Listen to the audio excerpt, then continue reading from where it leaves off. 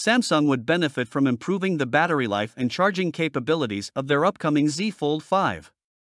Given the device's limited internal space and need to power two displays, it is unlikely to surpass regular smartphones in terms of battery efficiency.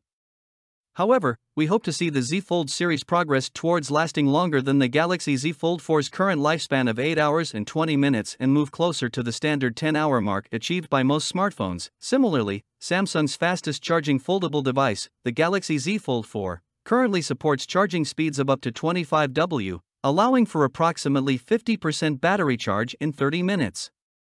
While commendable, it falls short of other Android phone makers who offer charging speeds twice as fast if not faster. While we expect Samsung to introduce upgraded charging technology on their Galaxy S series before the Galaxy Z series, it appears unlikely to feature in the upcoming Galaxy S23.